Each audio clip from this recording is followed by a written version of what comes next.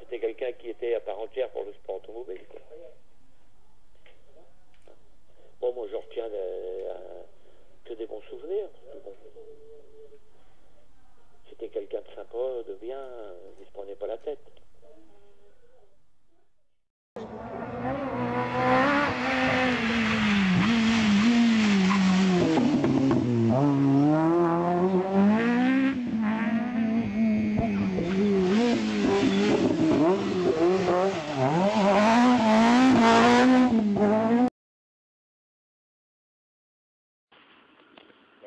D'un grand homme, euh, déjà de par sa taille, à l'origine, et puis, euh, surtout par son pilotage. Euh, c'est en plus quelqu'un d'humain et de très généreux. on a passé d'excellents moments ensemble.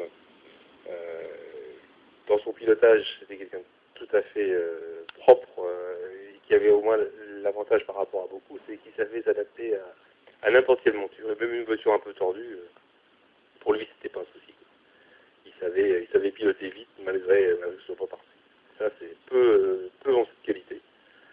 Et sur le plan, euh, sur le plan humain, c'était un, homme qui, aimait la vie. Euh, tout allait toujours, pas pour le mieux, mais bien. Euh, il faisait abstraction de, tous les problèmes qu'il pouvait avoir. Je sais s'il en a eu aussi sa part, et il ressentait que le positif. Donc il y avait toujours pire. Il fallait, voir le côté positif de chaque chose et ça repartait. Vraiment du, plaisir de le côtoyer.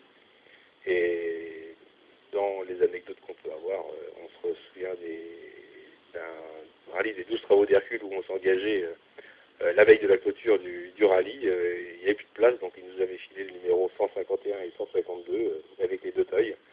Et on a passé un super moment, notamment on a joué au boule dans le parc fermé. C'était super.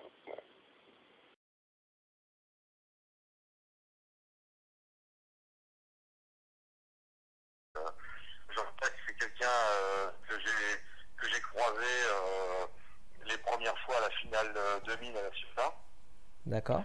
Et, après que j'ai côtoyé par le biais de, Jean-Luc Terrier et par le biais des copains des Thierry du Pays d'Auge, euh, et que j'ai vu en dehors, que j'ai vu, que j'ai vu en dehors des rallyes et pendant des rallyes parce qu'ils venaient faire des rallyes par chez nous. Et on, a fait une dizaine de rallyes à l'époque de l'N3 et c'est un mec, et je l'ai vu après, c'était un mec formidable, quoi, avec un grand cœur. Et, comme on dit à chaque fois, c'est les meilleurs partent, quoi.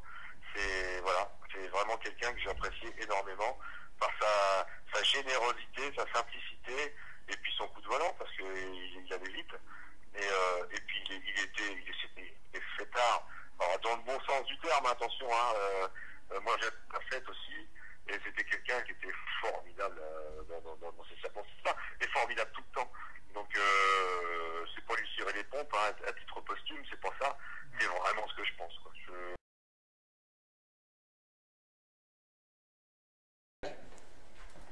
Euh, ben, Jean-Jacques Lebrun euh, fait partie des pilotes euh, que j'ai côtoyés euh, durant, durant quelques années au début de ma carrière. Enfin, pour me souvenir, c'était en 2006 et 2007 euh, où je l'ai côtoyé sur une saison en Coupe de France euh, dans les épreuves nationales ou, euh, régionales. Et, c'est vrai qu'on a passé des bons moments avec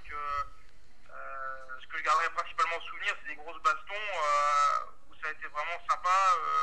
Il y a des rallyes où il était devant, des rallyes j'étais devant. il y avait toujours des grosses bastons et, ce qui m'a permis indirectement de bien progresser, c'est d'avoir côtoyé aussi des pilotes comme ça qui m'ont permis d'aller chercher encore plus loin et de, progresser encore. Et, après, quand je suis arrivé en chemin de France, indirectement, c'est des pilotes comme ça qui m'ont aidé à progresser, c'est sûr.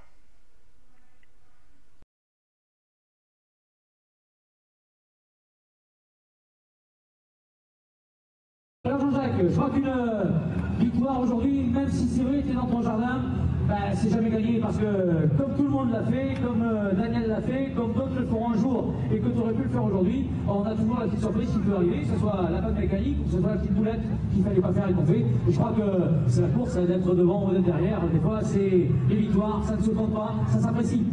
Exact, euh, on a fait un tour rallye, on a roulé à notre façon.